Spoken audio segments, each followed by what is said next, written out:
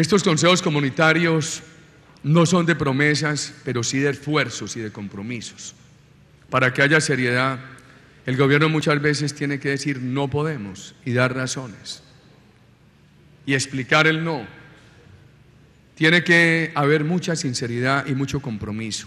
La sinceridad nos obliga a decir muchas veces no y el compromiso a buscar muchas veces opciones para resolver problemas que parecían insolubles. Creo que ha habido algo muy bueno resultado de este diálogo permanente. En el gobierno hay más compromiso y en la comunidad hay más información.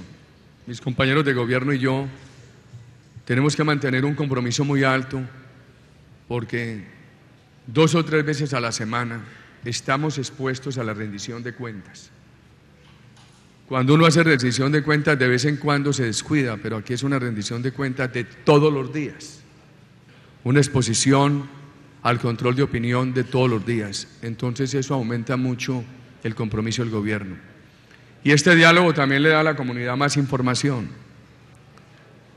le da a la comunidad mejor información para que la comunidad priorice, para que la comunidad se dé cuenta de, posibilidades, de limitaciones, etc. Señor eh, embajador de Corea, muchas gracias.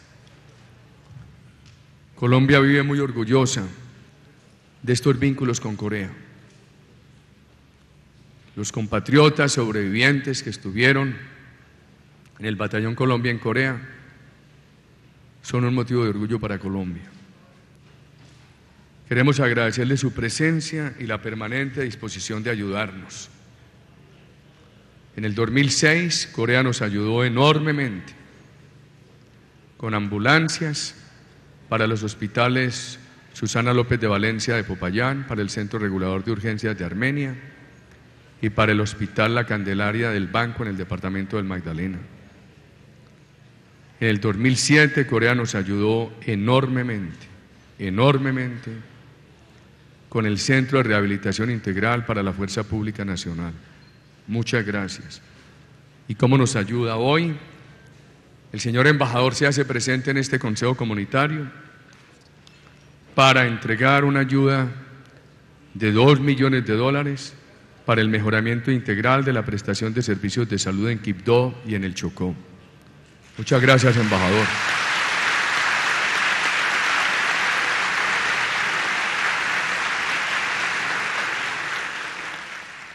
Yo creo que en las circunstancias de Colombia es mucho mejor resolver más rápidamente el déficit social que el déficit fiscal.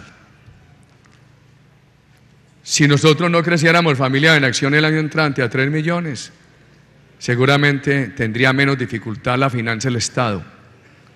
Pero en las circunstancias de Colombia, nosotros tenemos que avanzar más rápidamente en la superación de estos problemas de pobreza que aún en el saneamiento total del déficit fiscal. Yo prefiero que no vayamos tan rápido en la disminución del déficit fiscal, pero que vayamos más rápido en programas sociales como la nutrición de niños y familias en acción. ¿O no estamos de acuerdo en eso? Porque hay veces que cuando critican tanto algunos el crecimiento en familias en acción, yo veo que las familias en acción se quedan calladas. ¿Las crecemos el año entrante o no? Aquí en este departamento tenemos hoy 29.294 familias en acción. El año entrante debemos lograr en lo que es el estrato 1 casi una cobertura total. Prácticamente 30.000 familias en acción en este momento. En esta ciudad de Quibdó, en esta ciudad de Quibdó hoy tenemos 9.808 familias en acción. El sector prioritario ahí es el estrato 1 y desplazados.